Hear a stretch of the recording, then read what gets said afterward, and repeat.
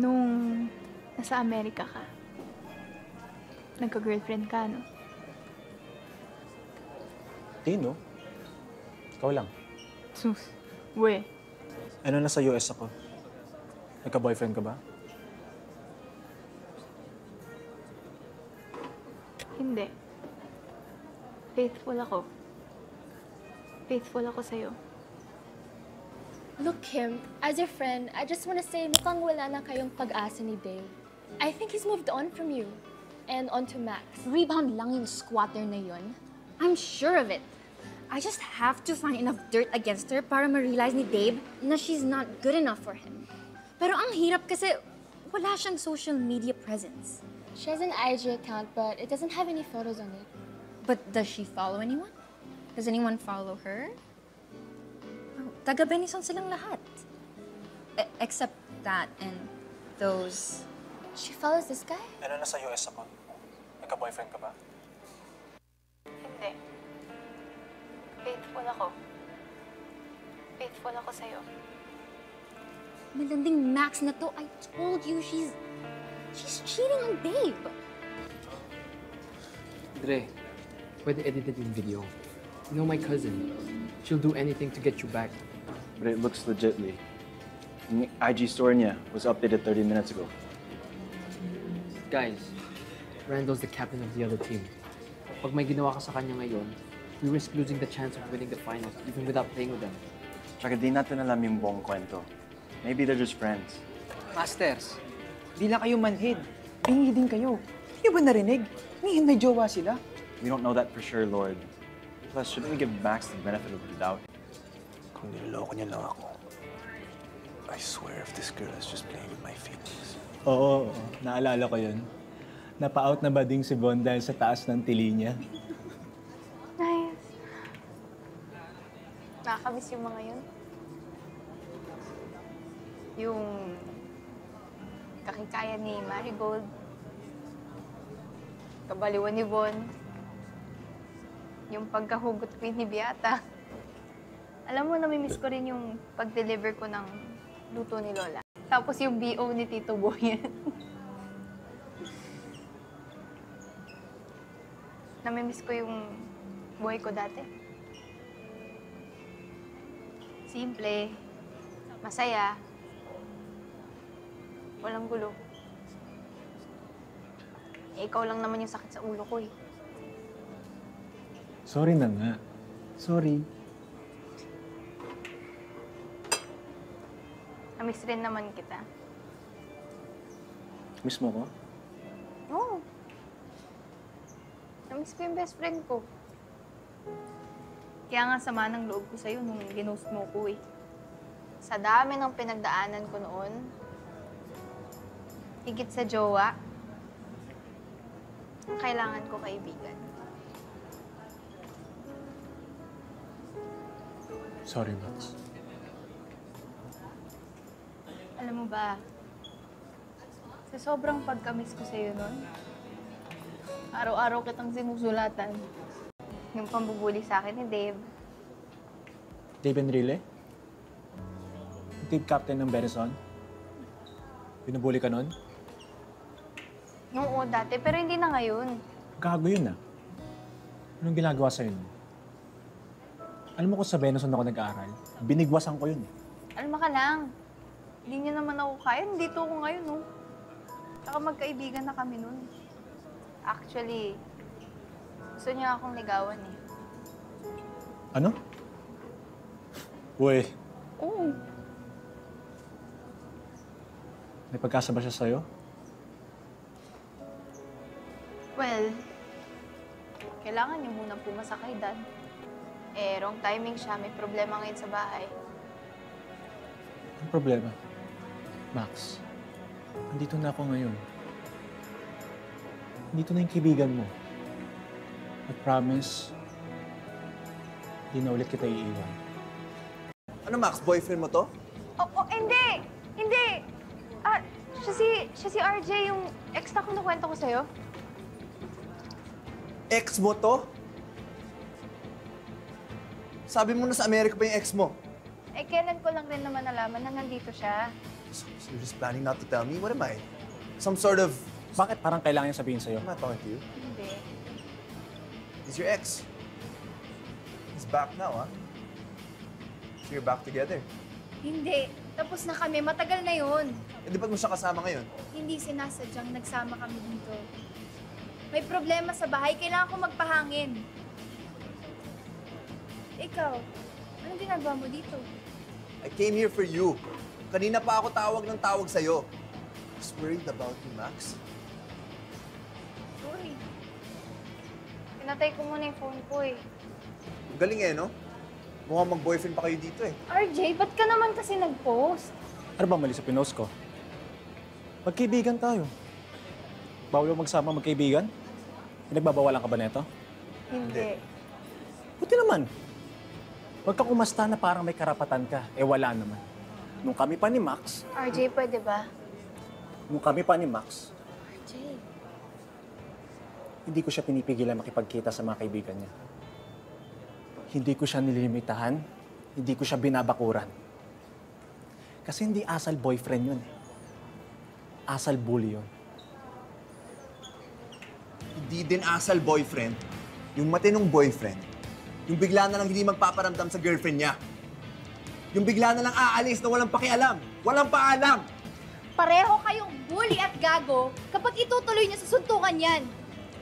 Kung pareho kayong magpapataasan ng ihi at gagawing punching bag yung isa't isa, kalimutan na natin ang pagiging magkaibigan natin. Ano? Inom tayo? Hindi kayo You shouldn't drink. O, di ba? Nagkasundo rin kayo. Sinabi ko bang alcohol lang inumin natin? So anong pakiramdam mo na nag-sorry si El? Gusto ko maniwala na sorry siya. Pero hindi ko magawa. Naaawa ako sa kanya. Pero ang sakit pa rin ang ginawa niya sa akin eh. Gusto ko siyang patawarin. Pero ewan ko ba? Siguro, hindi lang ako mabait na tao. Max, you're a good person. Never ever doubt that, okay? Siguro mas okay yung buhay ko kung kung nasa Mindoro pa ako, no? Sana hindi na lang ako pumunta dito. Max, hindi ka pumunta dito, hindi tayo nagkita, hindi tayo nagkaayos. Huwag ka na mag-alala. Nandito lang ako kung kailangan mo ng masasandalan at makakapitan. Teka. Sandali lang guys ha. Sasabog na yung pantog ko. Huwag kayong magpatayan ha. Teka lang, banyo lang ako. Look, ang dami ng pinagdadaanan ni Max ngayon. I think the best thing for both of us to do is to make sure her life doesn't get any more miserable than it needs to be. Okay. Huwag mo siyang bibisitin, Enrile, ah. Huwag mo rin siyang buwisitin ni Chavez. Hello, Dad. Lumabas lang ho ako saglit, nagpahangin lang po. Ah, pauwi na rin ho ako. Opo, sige po. Kailangan ko nang umuwi. I'll Hatid na kita. home.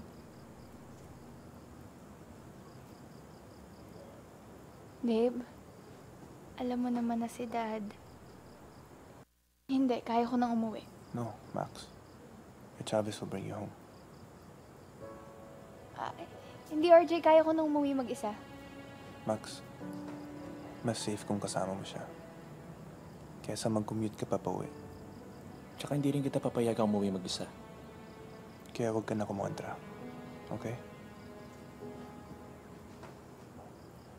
Tara na. Thank you.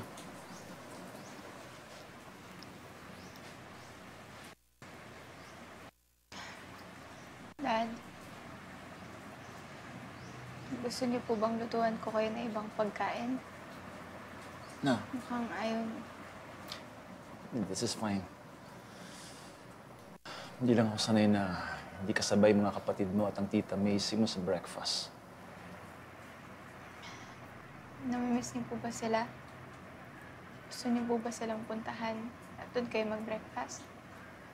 No. This is fine. Besides, I don't think your Tita Macy want to see me right now. Dad, wag mo sana kayo mag-iwalay ni Tita Macy. No, Max. No. We're just...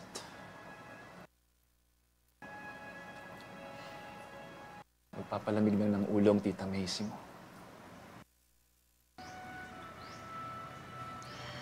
Pwede naman uulit akong bumalik sa Mindoro.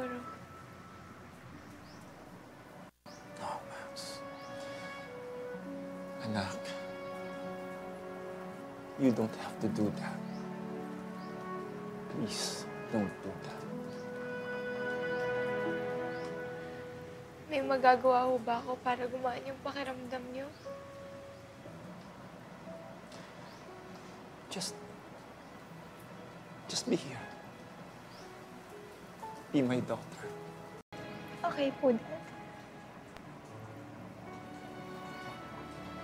Hanggang sa gusto niyo po. Niyo. Oh, kumusta? Sir, mukhang may breakthrough na tayo. Mukhang mayroong isang CCTV malapit doon sa pinarandaan ng getaway vehicle ng mga suspect. Baka makita natin ang mga mukha nila. Okay, balitaan mo ako ah. Sana nga lang, sir, malino yung footage. Para makasuwa na natin yung mga nanakit sa kuya niyo. Salamat. Babe, nag-aaral ako. I know. Kailangan ko yung kamay ko. Ano ka ba? Mata ang kailangan mo sa pagpapasa. Hindi itong kamay mo. Mag-aral ka na nga lang dyan. I'm trying. But you're distracting me. Ah, ganun. Ah, sige, alis na lang ako. Dito ka lang. Ay, nako. Seryoso, Dave. Kailangan ko mag-aral. Bawal ako bumagsak. I know. Dave, ayokong dumagdag sa intindihin ng dad ko. Masyado na siyang maraming naging problema dahil sa akin. Max, I know you're going through a lot right now. I just want you to know that I'm here for you. I'm here for you, okay? Salamat, ah. Kaya next time ako na lang huwag na si Chavez. Nagsiselos ka kay Randall, no? Huh? Ba't ako magsisero sa banong yun? Sinasabi mo. Sus! Nagsiselos ka eh. Mas gwapo ako, mas mabait. Mas magaling mag-basketball, di ako magsiselos dun. Hmm, mukha mo. Hmm. But seriously, if you need a shoulder to cry on, sa balikat ko na lang. Ano to? Ano to, date? Not exactly. Flowers for you? Hmm, may flowers. And this guy right here. I actually brought him to you sa hospital, but when I arrived, wala ka na. So this is him. May stuffed toys. Kulang na lang romantic music.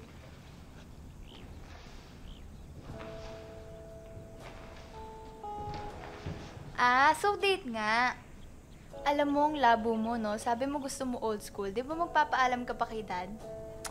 Gagawin ko yan. After mo siyang kausapin. Chumichempo pa ako. Kaya nga, which is why, it's not a date yet. It's a pre-date. Ah, may ganon.